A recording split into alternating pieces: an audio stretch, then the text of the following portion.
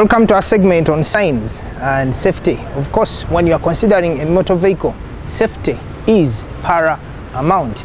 If you don't consider safety, then you put your own life at a high risk of being a casualty or even death. So there is a safety that must be taken when it comes to bonnet operation. First and foremost, um, after closing the bonnet, you have to make sure that the bonnet is so firm.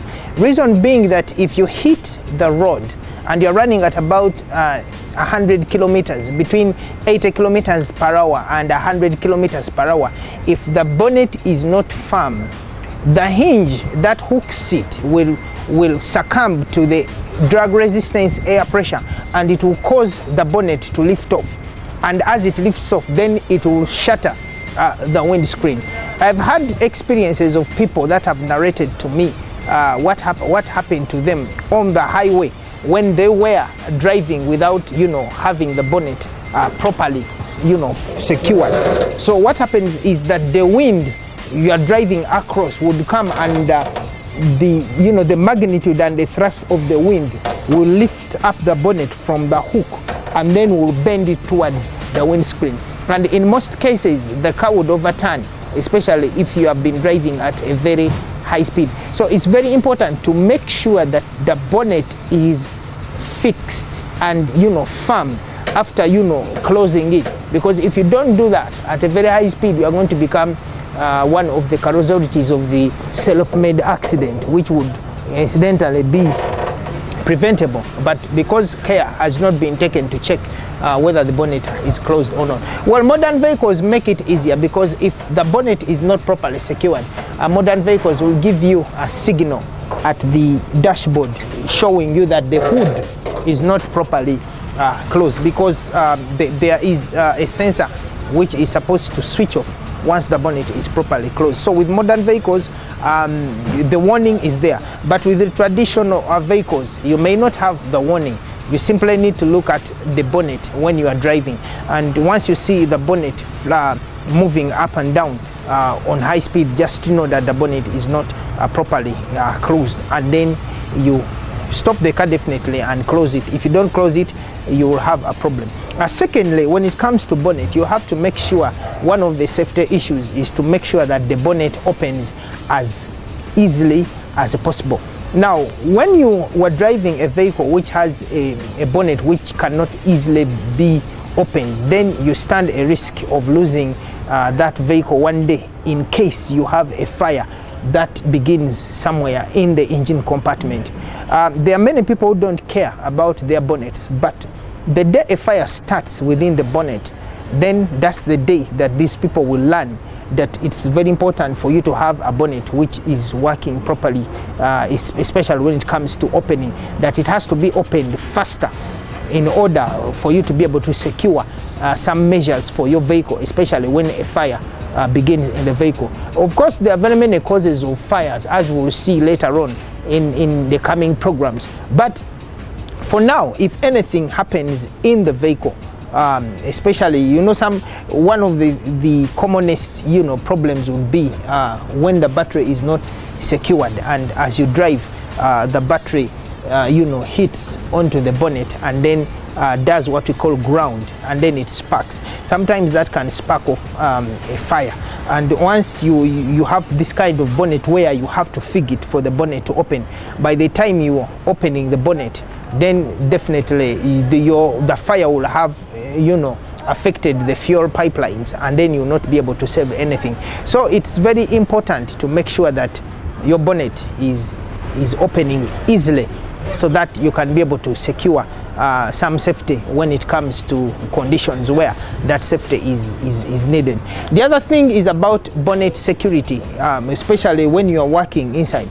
There is a rule of uh, doing uh, car, you know, fluid checks once in a while, maybe once a week uh, or twice a week. So if your kind of bonnet has been not uh, secured properly, then then as as you bend into the vehicle, maybe to to check on the oil uh, for example, you bend into the vehicle to check on the oil, and as you return the dipstick, or as you pull out the dipstick, then it's very uh, possible for the bonnet to come and then you know trap your head uh, within the, the engine compartment. So it's very important to make sure that when you're dealing with bonnets that you have secured enough safety uh, for, for the bonnet. Uh, when you are on road uh, driving, at the same time when you are you know operating within the engine uh, compartment area. Because if you don't do that you can become you know a casualty of your own mistakes and also of your not taking safety uh, as a precaution when it comes to dealing uh, with cars. So the next time you sit in any vehicle part of the things that you're supposed to do is to study the bonnet opening mechanisms and as well as closing mechanisms. I know not many people are interested in that. Sometimes people they just want to put in the ignition key and then drive the car and go away. But it is important that when you sit in a newer vehicle that you are not used to, that you adapt. Even if you are used to the vehicle, it's good and important to make sure that you check to see certain systems that they work well, especially when it comes to the bonnet compartment. Uh, the bonnet is one of the most forgotten, you know, areas of, of which people look at it and think, ah, this is just an engine, you know, room cover. It's not only an engine room cover, it also cons um, constitutes the beauty and outlook uh, of your vehicle, but has a lot uh, underlying it, which, which when mismanaged, can even become a cause uh, of death. So next time you are around in a vehicle, please make sure that you check the bonnet, the opening, the closing, and in case you are, your bonnet is not closing uh, properly, then uh, under safety you have to cut down on your speed and drive under 80 kilometers per hour. Otherwise, speeds above 80 kilometers per hour are going to force the bonnet to open, and you have going to, you, you end up having much more to repair than the bonnet, especially when the windscreen is shattered at the same time, apart from the windscreen being shattered, um, at the same time uh, when the vehicle you know veers off the road because uh, of, of vehicle uh, lack of stability when the bonnet opens and then the vehicle begins to, to veer off the road and later overturn. And yet this would be preventable if the driver or if the person concerned took extra care to make sure that the bonnet they are driving is securely fixed.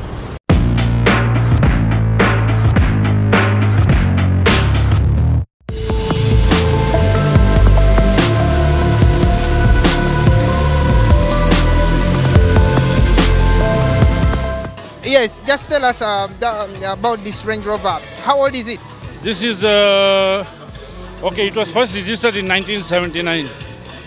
It was an ex-government uh, of Kenya car. Then we bought it from, uh, from a European and we tried to restore it partly in Kenya. The rest we did it in Uganda. Yeah. How old is it? It's uh, from you can say it's uh, 41 years. Wow, 41 years. It's a 1985 model. Wow. What have you done on it? We put a new engine We've done a new chassis and uh, literally everything is new on the car. Yeah. What's the capacity of the engine? It's a 3900 cc. Uh, and how, how many kilometers did you do per, um, per, per, liter? Yeah. It, on the long run, it can give you around uh, 9 kilometers to a liter. Yeah, you say it's a 3000 cc? 3900 cc. That's almost uh, 4. 4000, yeah. Yeah, and it can give you 9 kilometers. 9 kilometers a liter in town it gives nearly half of that. Because you see, you need to change the gears all the time, it will give you less of an average. Yeah. What do you do about spares? Spares are readily available in uh, CMC in Kampala and in Nairobi. Well, for this uh, 1985? Yes, yes, yes. Because this is one of the last two doors. So it's having a 3.9 liter EFI engine like you have in these modern cars. Yeah. So spares are readily available. We have not had a problem. Uh, maximum speed? You can do around uh, 140, 150 kilometers an hour. Yeah. Okay. Anything else you would want to tell us about this car? No, I really want us as, as us as Ugandans to restore more of the old cars which uh, are still here in Kampala. Yeah.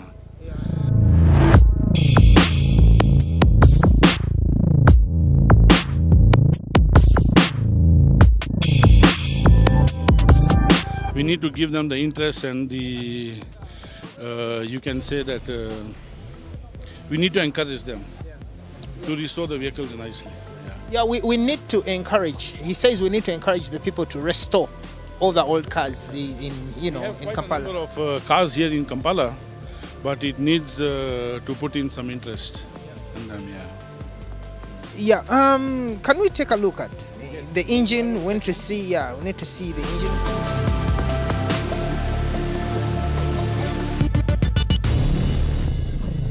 Yeah. This is uh, Mr. Singh uh, Mohinda in 1985 uh, Range Rover.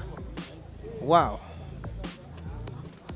This is a brand new 3.9 liter engine, yeah, as you can see it. It has a new chassis, it has a new transfer box, new differentials, literally everything is new on this car. I can tell him to start it for you.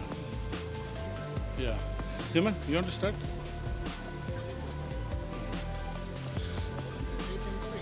Yeah, it isn't. Wow.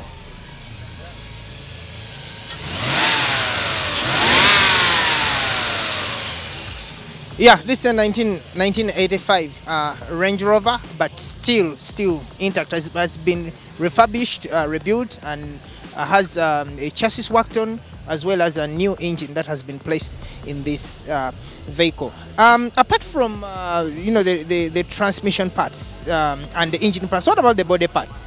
The body parts are all the old ones that it had from before. We've just given it a coat of paint. Yeah. Yeah, but but in case you needed them, are they available or you have to order? You can uh, you can get them from the UK. Okay. Yeah, and uh, the interior is original. Everything is original on the car. Yeah. Yeah, what's what's the value in case somebody wants it? You see, the money I put in this car, I can't recover if I want to sell it. So I just want to keep it. Yeah. Yeah, the amount of money in the restoration of this vehicle is not worth selling it. So the owner says he would he'd rather keep it uh, than sell it because no one is going to give him that bunch of money that he has invested in this kind of vehicle. Thank you very much, Mr. Singh.